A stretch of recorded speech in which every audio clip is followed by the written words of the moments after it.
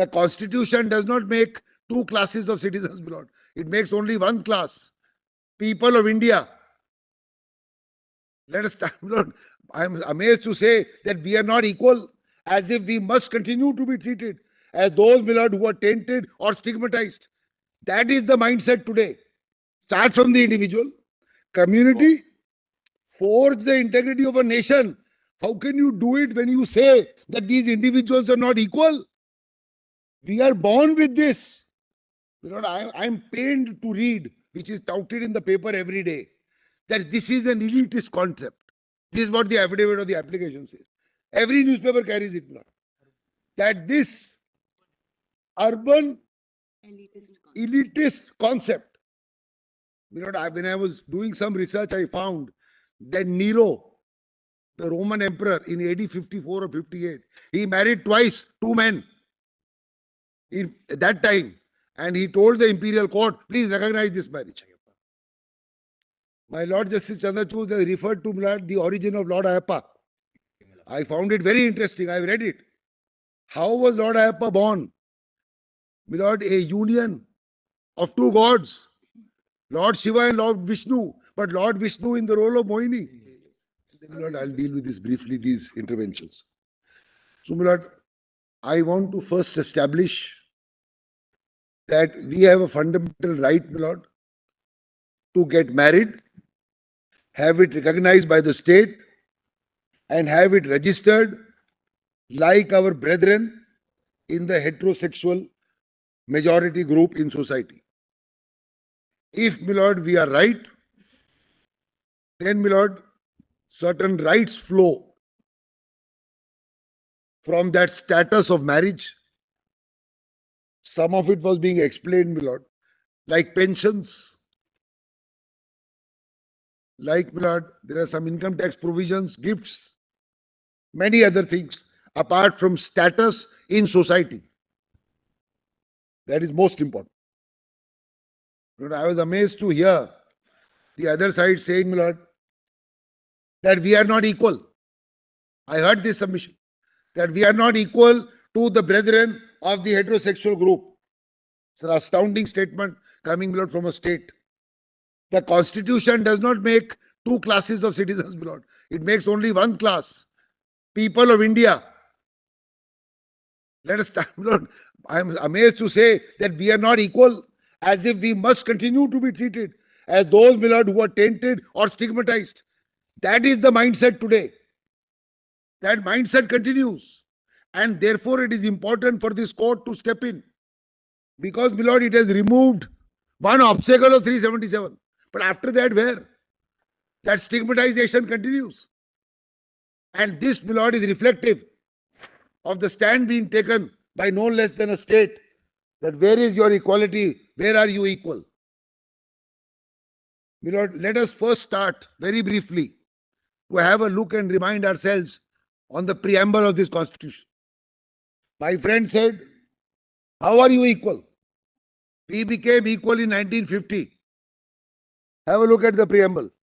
And then, my Lord, I will shortly show the discussion on the preamble in Puttaswamy in the opinion of his Lordship my Lord Justice Chandrachud. But first, I will show to you, Lordship my Lord, the preamble. And your Lordships know, my Lord, preamble was held to be a part of the Constitution in Kesavananda Bharati. It is intrinsic to the understanding of the ethos and the philosophy of the Constitution. And, my Lord, all these articles 14, 19, 15, 21 really flow, my Lord, or are adjuncts of this preamble. Kindly see, my Lord. Fundamentals are mentioned here. We, the people of India, having solemnly resolved to constitute India into a sovereign, socialistic, secular, democratic republic. We are more concerned with secular in the context in which we are placed, my Lord. To secure to all citizens justice, liberty of thought, expression, belief, faith, and worship. See the articles, my Lord, which will be involved in this liberty of thought and expression article 19 article 21 also because the right to have dignity to live, live a full life, faith and worship, religion, secular, pluralistic. It will go to Article 25, 29. Equality of status and opportunity. The implementing provision will be 14, 15, and 16, which are below a triangle. Not the golden triangle, but a triangle between themselves. 14, 15, and 16. And then to promote among them all fraternity. So justice, liberty, equality will allow, my lord, promotion of fraternity. Fraternity, my lord, is brotherhood, community interest, assuring, these words are prophetic now, assuring the dignity of the individual. Now, my lord, this dignity sits in Article 21 in terms of Puttaswamy. Dignity an adjunct of privacy. It sits in Article 21. And the unity and integrity of the nation. This is very important. So it is not, my lord, only dealing with these individual rights. It says that justice, liberty, equality will promote fraternity. What will it do? It will assure the dignity of the people of India or the citizens of India, give them the full panoply of rights under Article 21 and 14, 19, etc.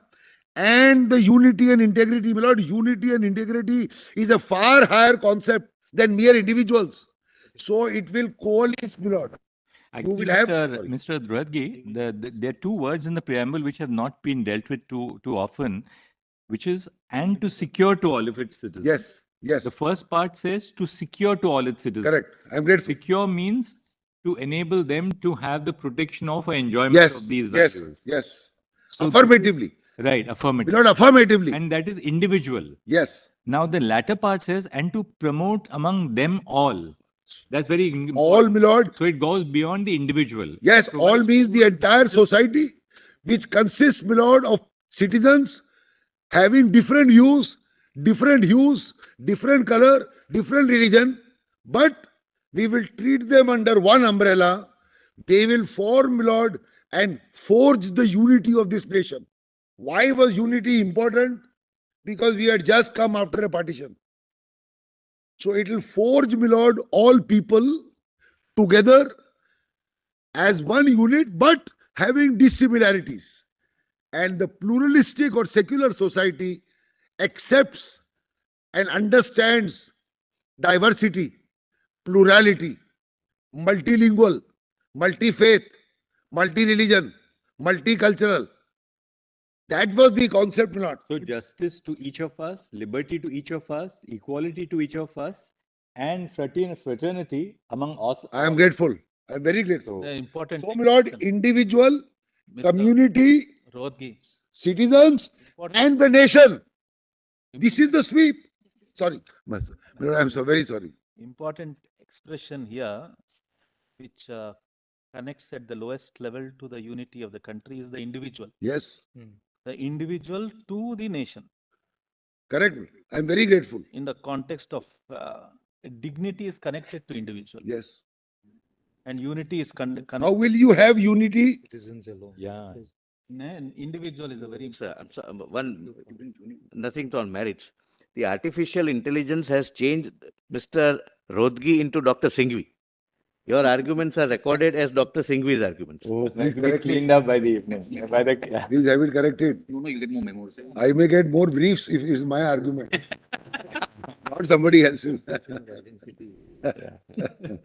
I don't think either of you need too many more briefs. he said in a lighter vein. Your Lordship is right not. We start from the individual, community, forge the integrity of a nation. How can you do it when you say that these individuals are not equal? We are born with this. You know, I, I'm pained to read, which is touted in the paper every day, that this is an elitist concept. This is what the affidavit of the application says. Every newspaper carries it now. That this urban elitist concept. elitist concept You know, when I was doing some research, I found that Nero, the Roman emperor in AD 54 or 58, he married twice, two men in at that time. And he told the imperial court, please recognize this marriage. My Lord Justice Chandrachud referred to the origin of Lord Ayappa. I found it very interesting. I've read it. How was Lord Ayappa born? Lord, a union of two gods, Lord Shiva and Lord Vishnu, but Lord Vishnu in the role of Mohini. I mean, it's very, very interesting, my Therefore, nothing is absolute. The, uh, the, the solicitor talked about my the transgenders. Transgenders is only T out of LGBT. It's only T. LGB is not considered my with the transgenders. So therefore, my Lord, these concepts change. I also heard him say, whether the court decides, whether parliament decides, doesn't matter. It's the society which decides, something like that. We not take the Hindu Widows' Right to Remarriage Act, 1860 something. The society was not ready, my lord, for widows' remarriage till even early 90s. You have those widows' houses, my lord, in Mathura. before 1956, bigamy was not. Uh, My lord, my lord. But my lord, the, the, the, the Dominion Parliament in the 1800s moved far ahead of the society and allowed, my lord, the Hindu uh, widows to remarry. But sometimes the mindset still don't change. It didn't change, my lord, even till early 1900s, even till 1920, 30s, and you have those homes, my lord, in, in uh, Mathura. So sometimes, my lord, Parliament or the, the Legislative Assembly acts more with more alacrity. Sometimes it acts with less alacrity. But here we have moved on. We have moved on. Your Lordship's declaration to remove, my lord, the obstacle in our way from achieving all this was only one. That, that is, insofar as the state is concerned, was 377. The second is the mindset. And all this which is argued is actually reflective of that mindset. Heterosexual majority is the only one.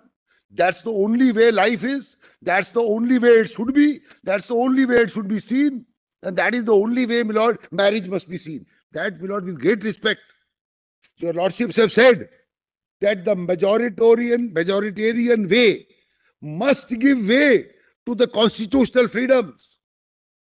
Can't be that what majority is doing is correct and therefore you squash the rights of the others. All this is, lord, a part of the judgment which I quickly showed you, lordship. Mm-hmm. I am not adding anything, lord, except this, some research I had done, lord, for all this. But otherwise, this is all, lord, documented. Navtej Johar has changed society today. No, my lord, let's, my friend is right. See, my lord, my lord, the chief justice referred to this fact. Navtej came, my lord, five years ago. In five years, we have seen a perceptible difference as to how people view, lord, people of our community, if you call it that way. Not fully. Some stigma is still there, as I said in public spaces, etc. That stigma can only be removed by a declaration of the court, just as we had a declaration in Navtej. We'll not see one more thing. It's not only our rights. Look at the rights of our parents. I don't know if your lordship read not. I read an article. By Mr. Vivek Arju. I was Yes. going to say that, yes, I read the article by him. in the Indian Express. Yes, I'll pass it on to your Lord, if it is not there. I read an article. So rights of others are also involved. Rights of parents, how to treat their children, how to treat them in their society, that is the elder society, in their fraternity. People ask me, Lord, what do your children do? Where are they? Etc. etc. So the rights of others, that is, my Lord, one below and one above. Children and the parents. So rights of many, my lord, are under interplay when you are deciding, my lord, the rights of these people. That's how, my lord, it carries on.